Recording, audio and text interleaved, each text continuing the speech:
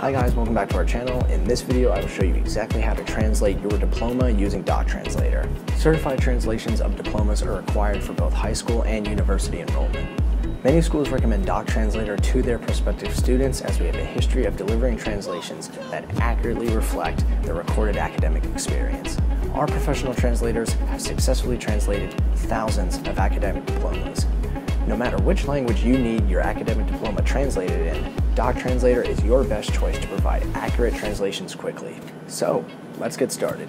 In this video, the tool we are going to use is called Doc Translator.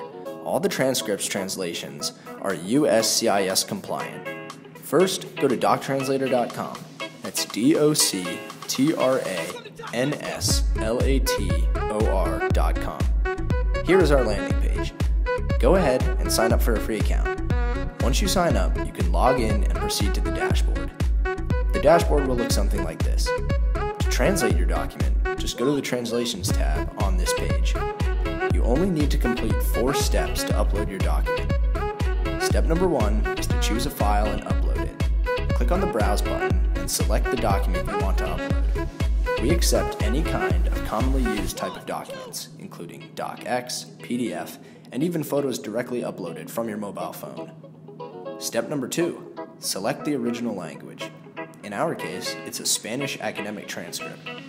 Step number three, select the target language. In this case, I will choose English. Step four, upload. It's going to take a couple of seconds to upload your file to Doc Translator. We can see the page reloads and the translate button appears. It shows the file name, the language pair, which is Spanish to English, the price, and the status. In our case, the price is $9.99. That's the minimum fee that Doc Translator processes such documents. If you don't have a balance on your account yet, you can click the payment section and add amounts. I have enough balance in my account now, so I'm ready to proceed. I click on Translate and the translation begins right away. On the following screen, the translation is now complete, and to download it, all I have to do is click on the download button. As you can see, it's fast, accurate, and affordable to use Doc Translator to translate your PDF. With translations only a 20th of a cent per word and free translations for documents under 1,000 words, it's easy to convert your documents to make them readable for everyone. If you found this video helpful, please hit that like button, subscribe, and turn on notifications if you want to see more. Thanks again for watching.